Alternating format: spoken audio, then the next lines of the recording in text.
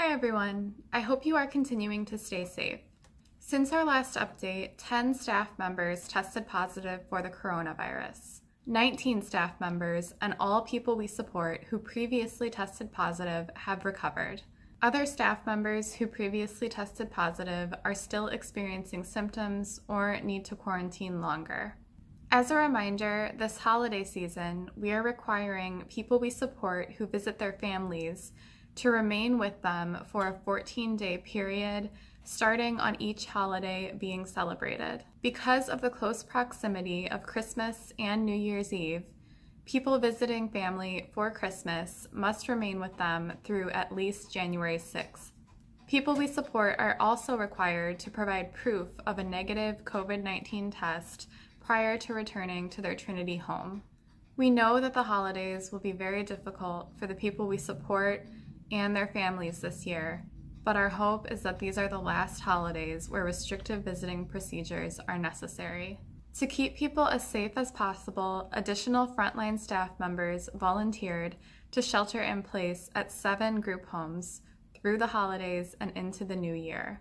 We are so grateful for these staff members and their amazing sacrifices to keep the people they support as safe as possible. As vaccinations begin around the country, we plan to offer a free webinar for families at 6 p.m. this Wednesday, December 23rd, to provide additional information about the vaccines and to answer questions. We are partnering with pharmacist Chad Kodiak from Kodo Pharmacy, who will present the webinar. To sign up for the webinar, visit trinityservices.org/webinar. We will share a link to a recording of the webinar for those who are unable to attend. Trinity and organizations similar to ours are participating in a program with Walgreens to help us efficiently distribute vaccines to people we support and our staff members free of charge once they are available. We will share information about this process as we move forward. We expect that given the demand for vaccines, vaccinations will occur over time. If family members know they want their loved ones to receive the vaccine, we are asking them to please contact their network director right away to receive consent forms. Two consent forms will need to be completed, one for each dose of the vaccine. This week, curriculum and materials regarding the holidays were distributed to residential locations. People created crafts like Christmas tree silhouettes, postcards, 3D angels and Christmas trees, and reindeer, learned about Hanukkah, Diwali, and Kwanzaa, went on themed scavenger hunts, and made holiday recipes. Also this week, people continued decorating Christmas trees, participated in holiday spirit days at the branch, stayed connected from a distance at Old Plank Studio, and made cranberry orange muffins at Safe Now. In the Des Plaines area, Santa visited some people we support at their homes, and also visited with people during a Winter Wonderland drive through event at our Chicago area administrative office. Also, people we support who are members of Trinity's advisory committee got together via Zoom for a Christmas celebration.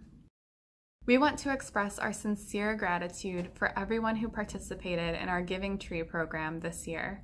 With your help, nearly 400 people we support will have their holiday wishes come true this year.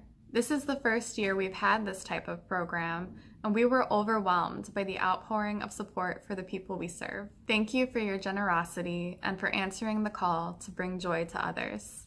Looking ahead, we are in the process of creating a wall calendar for 2021, which we hope will be a much better year for all. Calendars will feature original artwork from people we support and are currently being printed. Though they will not be ready by Christmas, you can pre-order yours now for early January at trinityservices.org/calendar. Proceeds benefit people supported by Trinity. We will not have a Friday update next week. To all who celebrate, we hope you have had a very happy Hanukkah. And to all who celebrate next week, we hope you have a very Merry Christmas and a Happy Kwanzaa. Thank you for your ongoing support. We will get through this together Together, we are Trinity Strong. Stay safe, and we'll see you in two weeks.